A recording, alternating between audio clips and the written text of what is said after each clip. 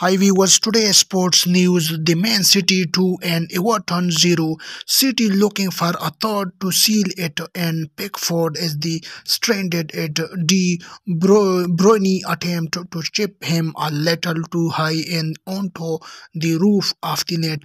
That was the last act. A 2-0 win for City and they leapfrog Liverpool to move top of the table.